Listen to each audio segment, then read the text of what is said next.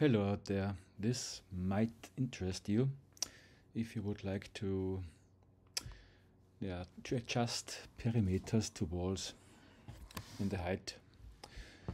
What do I have here? I have a simple normal wall with simple openings in it and I want to give an adjustable perimeter to it. I made one. I just uh, activate it. I go to planning, planning extras, wall add-on. It's a GDL for the wall add-on. Then I take it, it just has not the right picture on it until now. Just wanted to show it, it to you and I tell it okay to be here. So you see it's just segmented and now having the walls activated I go to planning solid element this one and I go to set targets the four walls here four.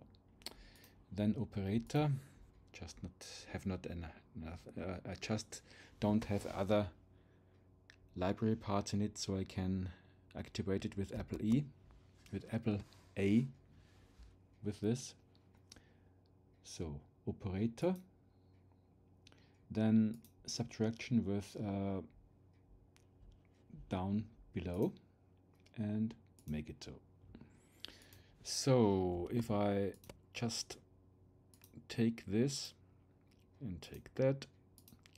I can adjust it as I want. You see the openings are still cut out. The add-ons knows this. And also here, of course.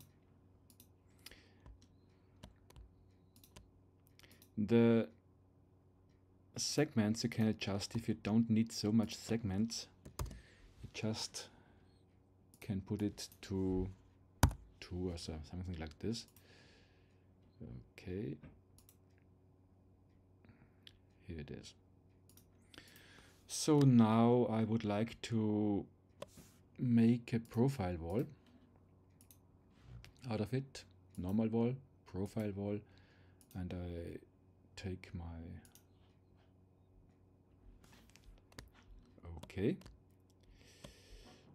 as you can see it just cuts out it smoothly and you can just adjust it as you want if you have a terrain that's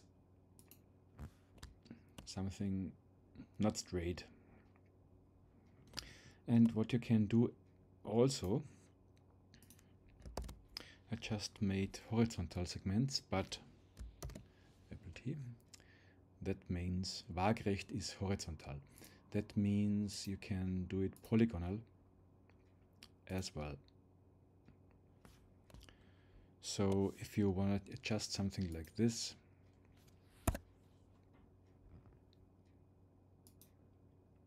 I just wouldn't would not do this really because it's very hard to make it for the woodworkers.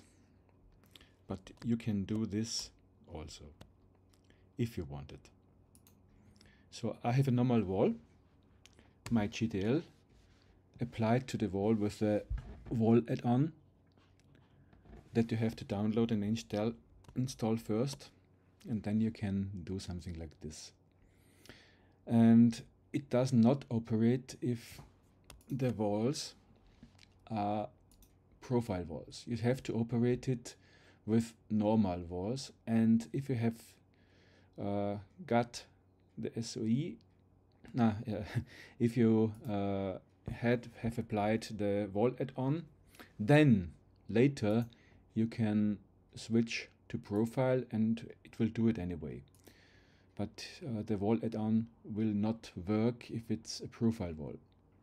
So before it has to be a normal wall apply the wall add-on, and then switch the wall to a profile wall. So it will function. I will give this show it to you. There are not much parameters, just this one to the normal uh, add-on parameters. And in 2D, it's just the project 2. And in 3D, uh, there are just cut planes uh, for the wall edges. Then something simple uh, calculations with the editable hotspots here for the X and here for the set height. And then it does it does uh, a group. And a second group for the wall cutting body. And in the first group mm, okay it was too, too fast. It's really simple. If it's uh, horizontal it does this if it's poly polygonal it does, it does this. It always takes the profile here also. And here it's differences between polygonal. This is the polygonal part. And here is the horizontal part just a Z-prism for horizontal it's a tube for polygonal that's all I hope you can use it I will give it as a PLA file, file. Okay, I have to make a picture here. I can do it here in the video. This should be a good picture for it. I just um, okay. Let's do it with a normal